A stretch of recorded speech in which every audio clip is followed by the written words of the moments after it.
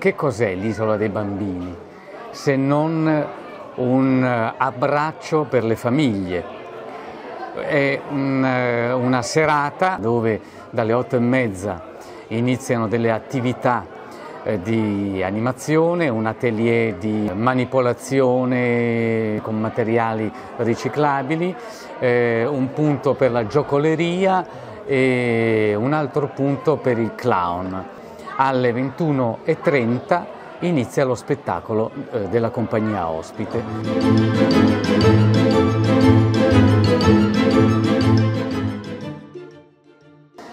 Cerchiamo verità, veridicità, sincerità. Chi sta in scena non deve eh, parlare ai bambini come se fossero dei, dei, dei pupazzetti, no? tanto basta farli ridere, no, bisogna sapere che i bambini sono delle persone e devono essere rispettati come delle persone, perché lo sono, rispettate nel loro eh, stato d'animo, nelle loro sensibilità, conoscendo la loro capacità di ricezione, eh, rispettarli nel linguaggio. E quindi uno spettacolo per, eh, rivolto ai bambini deve magari sì anche far ridere, farli divertire, certo è una chiave di lettura, ma anche dare qualche cosa, dare un senso, un significato. Non deve essere soltanto un divertissement. Lo spettacolo, anche questo è francese, è presa da una favola di Charles Perrault del gatto dagli stivali, realizzato come narratore, quale io suono, eh, poi musicista, nel senso che suona un po' la fisarmonica, la chitarra, ma soprattutto eh, lavoro con i pupazzi, per cui il famoso gatto dagli stivali è un pupazzo, anche l'orco, e sono caratterizzati dalle voci. Hm? essendo francese, il gatto degli stivali, parla un peu comme ça, oui, euh, c'est un chat, il parla, e invece l'orco è una voce più potente, l'orco parla da c'è, vero? Eh? E poi non solo, ci sono delle scenografie che ricordano un po' i quadri ehm, dei cantastorie e io ho messo dei quadri di Vincent van Gogh che sono molto colorati, mentre fuori è tutto bianco e nero. Il messaggio più bello è che è una storia di amici, perché è gatto degli stivali, comunque amico del marchese di Carabà e lo aiuta a diventare ricco da povero che era, figliolo di un mugnaio.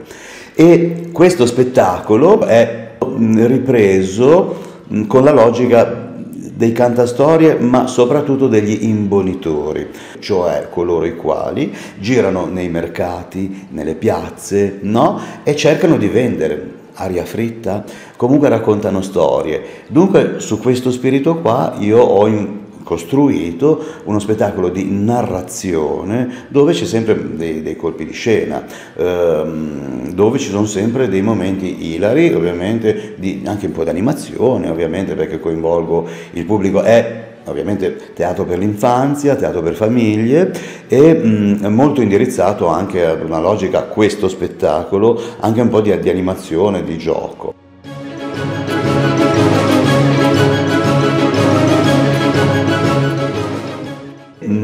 Cosa è cambiato? Secondo me eh, i tempi di attenzione, per esempio, adesso sono inferiori. Cioè, una volta c'era più disponibilità a stare ad ascoltare, adesso devi fare in generale tutto un po' più veloce, per cui eh, già nel mio stile ci sono dei, non dico repentini cambiamenti, ma ogni due o tre minuti succede qualcosa di nuovo e non si ripete, cambio di scena, cambio di voce, una musica, ma questa esigenza eh, nasce anche proprio da, da rendermi conto che sono cambiate in 40 anni il livello di attenzione. Resta intatto uh, l'essenza dell'essere umano l'emozione, la capacità di relazionarsi. Quello che ha il teatro è la relazione, non esiste teatro se non c'è relazione. Nel momento in cui sulla scena c'è una persona e tra il pubblico c'è una seconda, un'altra persona, ecco, lì c'è il teatro. Se ne manca uno dei due personaggi il teatro non esiste più. Quindi il teatro è proprio relazione fisica, eh, relazione eh, emotiva perché è il corpo che insieme alla voce parla e comunica. Noi esseri umani, nel momento in cui ci muoviamo con uno sguardo un sopracciglio alzato, eh, un piccolo gesto della mano, noi già comunichiamo mille cose. Se poi aggiungiamo non solo la parola, ma il come questa parola viene comunicata, queste mille cose si moltiplicano, diventano eh, migliaia e questo non, non, potrà mai svanire, possono cambiare le generazioni, può cambiare la tecnologia, ma il teatro rimane questo.